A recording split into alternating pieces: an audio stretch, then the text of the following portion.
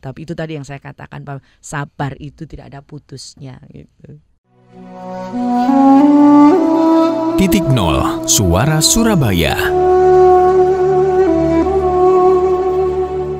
Uh, waktu saya SMA, kami itu duduk satu bangku. Jadi di sekolah itu bangkunya itu tidak hanya yang dua-dua orang, tapi satu bangku itu berempat. Kami duduk berempat. Uh, di antara empat orang itu saya itu yang paling nggak pinter waktu itu, karena yang ketiganya berasal dari SMP yang sangat terkenal di Surabaya dan mereka sangat pinter-pinter. Saya yang paling nggak pinter, apalagi saya tidak pinter di pelajaran fisika dan pelajaran matematika. Itu saya akui sekali kelemahan saya di situ. Sehingga ketika tahu posisi saya seperti itu saya minder. Tapi ada keinginan dari saya untuk ingin seperti mereka gitu. Karena keterbatasan ketiga orang teman saya itu bisa apa les ya e, bimbingan belajar di bimbingan yang sangat terkenal di Surabaya waktu itu. Saya tidak karena orang tua saya tidak bisa membiayai saya untuk masuk di bimbingan belajar.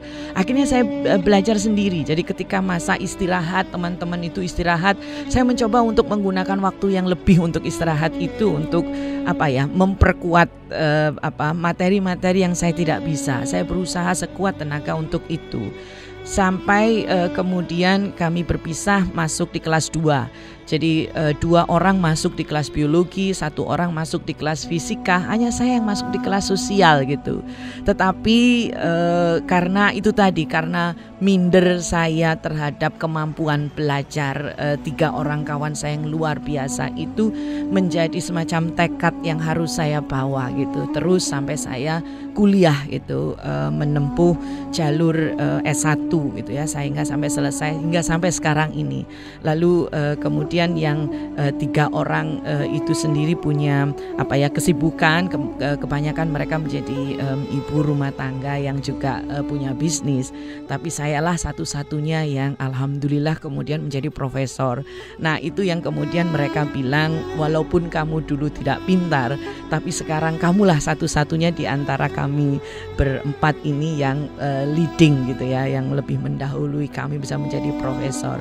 Saya tidak tahu apakah ini juga merupakan saya percaya ini adalah garis nasib saya, tetapi memang jalannya saya harus dibuat dulu menjadi orang yang tidak pintar gitu. Sama seperti tadi, misalnya saya kalau misalnya dulu saya mengurus guru besar saya hanya dikasih waktu selama uh, uh, dikasih kemudahan gitu ya dalam waktu uh, satu tahun atau dua tahun seperti yang lain, mungkin uh, saya akan berperilaku berbeda dari uh, ketika saya diberikan uh, waktu lima tahun ini. Sama juga begitu, mungkin jika dulu saya sepintar mereka saya tidak akan menjadi guru besar di bidang komunikasi ini. Mungkin saya juga akan menjadi seperti mereka, walaupun um, ya ibu rumah tangga nggak ada uh, salahnya, tapi mungkin seperti itu dulu. Jadi uh, saya tidak tahu apakah jalan ini yang memang harus uh, saya lalui dulu. Jadi saya harus menjadi orang yang ada di bawah dulu sehingga dari bawah itu saya mencoba untuk merangkak naik ke uh, atas walaupun jalannya begitu terjal tapi itu tadi yang saya katakan bahwa sabar itu tidak ada putusnya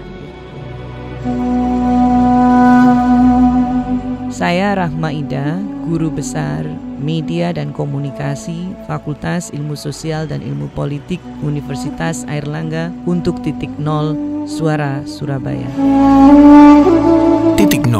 dipersembahkan Suara Surabaya.